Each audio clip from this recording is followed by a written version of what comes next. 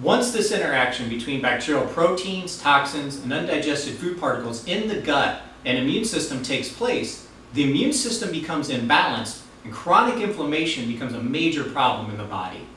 This is when chemicals called inflammatory cytokines come into play. You might be familiar with the inflammatory cytokines TNF-alpha and interleukin-17. And that's because the biologic drugs such as Humira targets TNF-alpha and the biologic drug Cosentyx targets interleukin-17.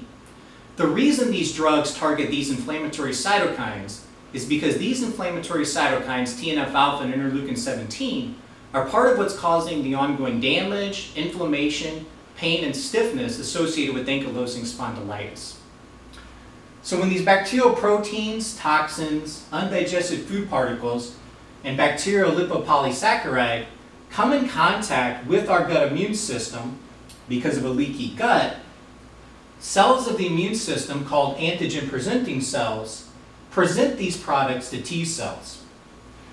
T cells are then stimulated to become different types of T cells, and then they'll produce inflammatory cytokines such as TNF-alpha and interleukin-17.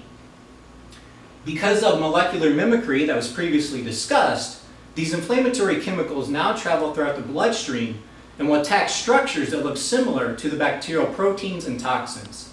Structures such as tendons, ligaments, and joints of the spine, hips, and sacroiliac joints.